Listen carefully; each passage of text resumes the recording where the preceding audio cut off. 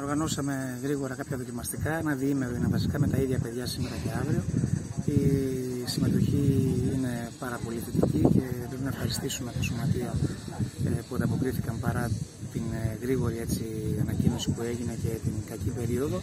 Αλλά δόξα τω Θεώ έχουμε εδώ πέρα 90 ε, παιδιά και θα τα δούμε σήμερα και αύριο. Ευχαριστήσουμε και τον χώρο εδώ, την Νέα Πολιτεία, την ομάδα, τον Δήμο για αυτή την εκδήλωση. Είναι μια πρώτη σειρά, μια πρώτη σειρά δοκιμαστικών και μέσα από παιδιά και από την Εραστεχνική ΑΕΛ και από τα, τις Ακαδημίες του νομού να κάνουμε μια πρώτη αξιολόγηση και μια πρώτη έκθεση.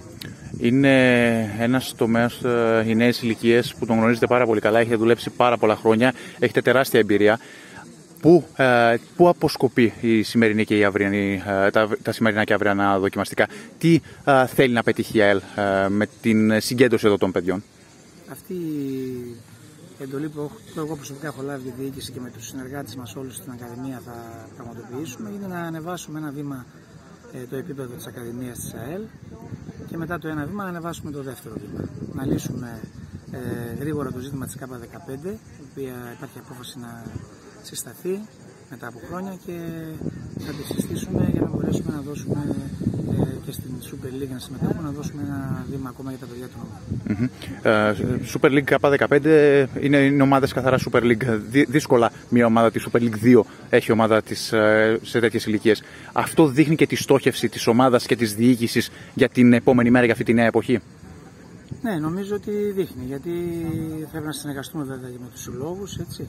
Ε, αλλά το να υπάρχουν τρία γκρουπ ε, στις ομάδες της Super League 2 δείχνει και την οργάνωση. Υπάρχουν όντως ακαδημίες υπάρχουν που δεν έχουν στη Super League 2, αλλά υπάρχουν και ομάδες που έχουν πολλά χρόνια την K15. Είναι κάτι που το έχει κάνει και παλιότερα η Λάρισα. Θα το κάνουμε και βλέπουμε. Η Λάρισα από παλιά ε, στηριζόταν στα δικά της παιδιά. Πλέον αυτή είναι η στόχευση και για αυτή την ομάδα τα επόμενα χρόνια να, μπορεί, ε, να μπορούν τα τμήματα υποδομής να επανδρώσουν την πρώτη ομάδα ε, σε όποια κατηγορία και να αγωνίζεται είτε στη Super League 2 είτε στη Super League 1.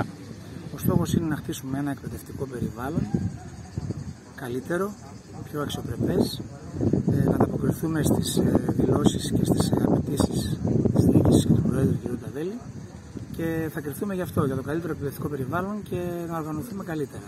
Τώρα, αν αυτό στοχεύει στο, στο πέρας μιας διαδικασίας ε, μεσοχρόνιας ή μακροχρόνιας να φτάσουμε και στην πρώτη ομάδα, ας το αφήσουμε προς το παρόν και θα το ξανασυζητήσουμε. Mm-hmm. Και η δική σας προσωπική στόχη από αυτές τις δύο ημέρες αλλά και από τη συνέχεια, ποιοι είναι; Εγώ, όπως έχω δηλώσει, έχω πάρα πολύ όρεξη, έχω πάρα πολλούς φίλους εδώ, προπονητές. Αγαπάω πάρα πολύ την ποδοσφαιρική ε, Λάρισα και νομίζω ότι θα είναι μια πολύ καλή για μένα εμπειρία.